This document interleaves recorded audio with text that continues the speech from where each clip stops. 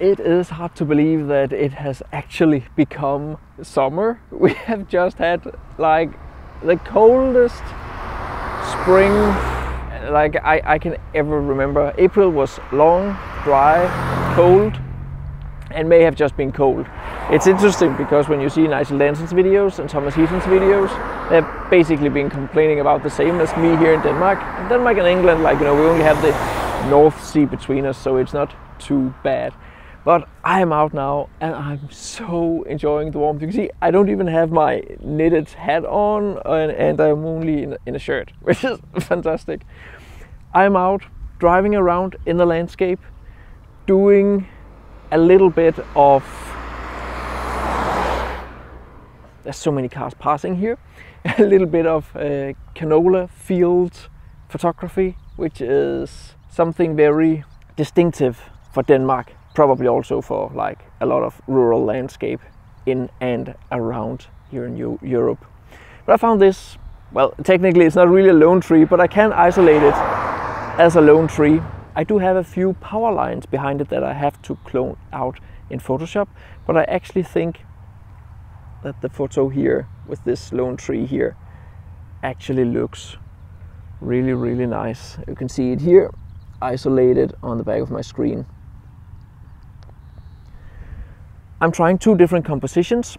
One where I have the tree in the lower third of the image and one where I have the tree in the upper third of the image. Settings wise, super simple, aperture priority, making sure that I have everything that I want to have in focus. Settings wise, it's super simple, aperture priority, I'm shooting at f5.6 because I do want to have a shallow depth of field for the foreground and ISO 100 and that gives me a shutter speed of 1 500th of a second on such a beautiful sunny day as it is today.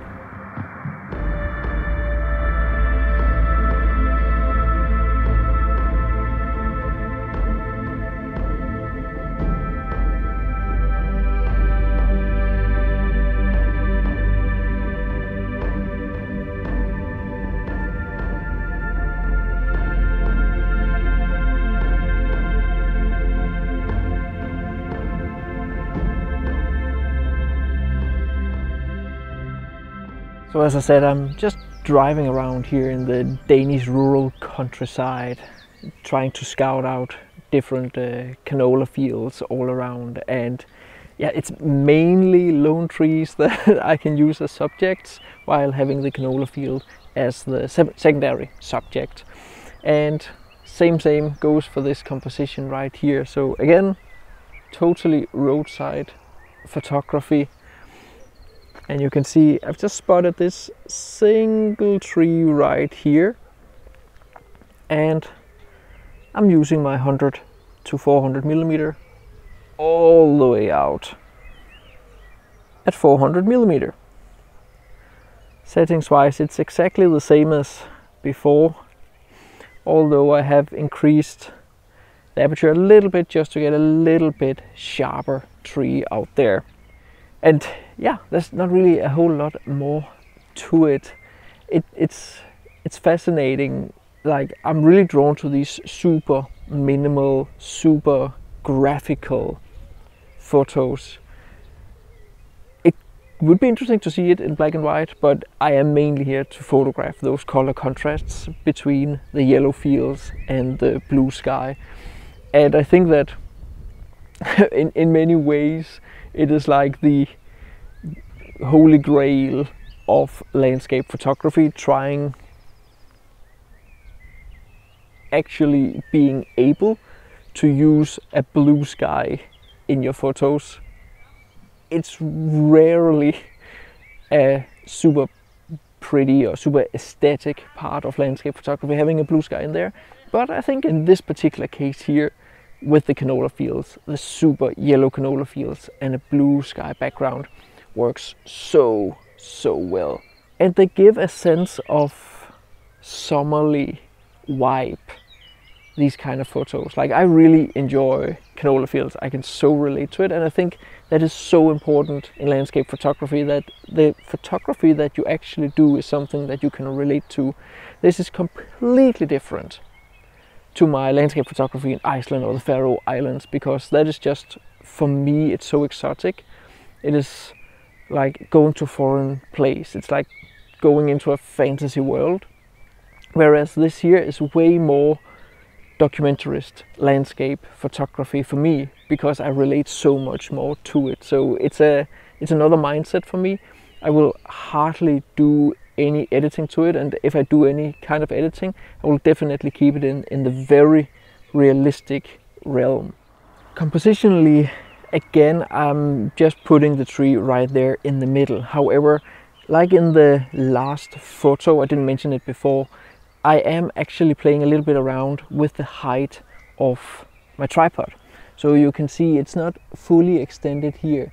And that means that I'm fairly low here. So I include a little bit of the foreground, which will of course be completely out of focus. But if I raise the camera up, as you can see here, I change the foreground quite a lot. So I am playing around with having that completely blurred yellow foreground and then having a foreground which is a little bit more, well, it's not in focus, but a little bit more detailed by just raising up the tripod. It makes quite a, a significant difference to the final photo. I'm not entirely sure which one I'm going to choose when I come back home, but uh, yeah, let's see to it. Lovely, lovely summer day. I'm so enjoying it. Finally, finally, summer Finally.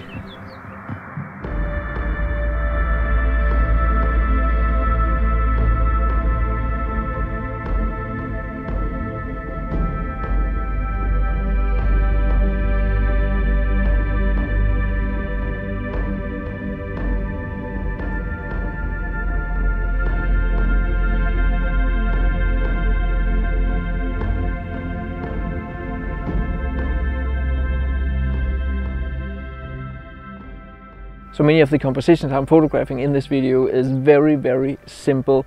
However, if you do want to learn much more about composition in landscape photography, be sure to get my two ebooks on composition. They dive much deeper into the complexities of composition and I'm really covering a whole lot of different subjects and one of them is not necessarily minimalism but simplicity how to fill the frame and how to cut out all the stuff that you don't really need in your photos to make them work so there are links to them down in the description if you're a little bit in doubt you can check out the two light versions first they are free you can get the first one by signing up to my newsletter and there's a link to the second one also down in the description. So yeah, be sure to get my two ebooks. So the sun is slowly starting to get down. It's evening by now, but yeah, as you can see here behind me, the sun is still pretty far up into the sky. I have yet again stopped just in the roadside and I found this canola field where I'm just photographing all these pieces of canola that just like stands out and I'm using the long lens zooming in to all the flowers. Now this is one I'm actually hand holding because I'm standing here at the road. It's not so good to just like set up a tripod even though I'm out in the middle of nowhere. Um, but it's fairly easy to handhold, like there's plenty of light and I'm shooting with a fairly shallow depth of field.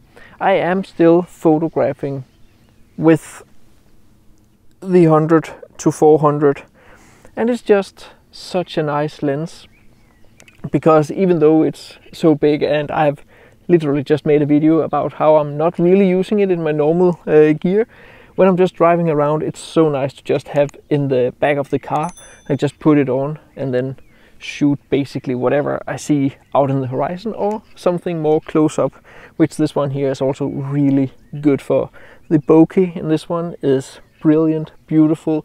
It has a relatively short minimum focus distance. So in that way I can actually get fairly close to whatever it is I'm photographing and still have it in focus. And that also of course means getting closer that I will have more uh, bokeh and yeah, a shallower depth of field.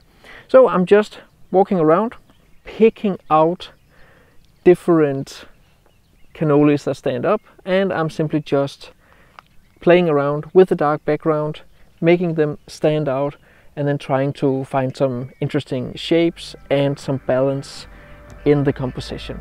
So uh, yeah, here you go, here you can see what I have photographed.